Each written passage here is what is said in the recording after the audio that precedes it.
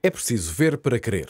A área de paisagem protegida das lagoas de Bertianos e São Pedro de Arcos, em Ponte Lima, é uma autêntica relíquia da natureza e uma joia para a preservação da biodiversidade do Alto Minho.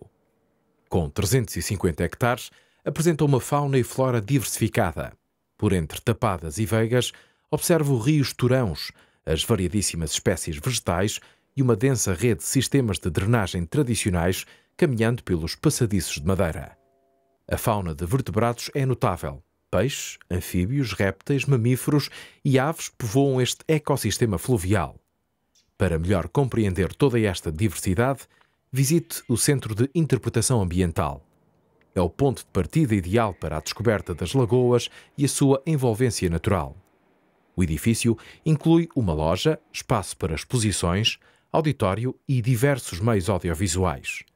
Aproveite esta visita e conheça também o Centro de Informação do Lima aqui instalado, onde, através de várias experiências interativas, ficará a conhecer o vasto património ambiental, económico e social associado ao Rio Lima.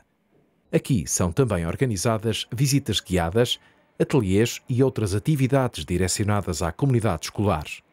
Junto ao Centro de Interpretação Ambiental, parta à descoberta pelos diversos percursos pedestres assinalados desperte os sentidos e absorva todos os encantos da natureza nas lagoas de Bertianos e São Pedro de Arcos.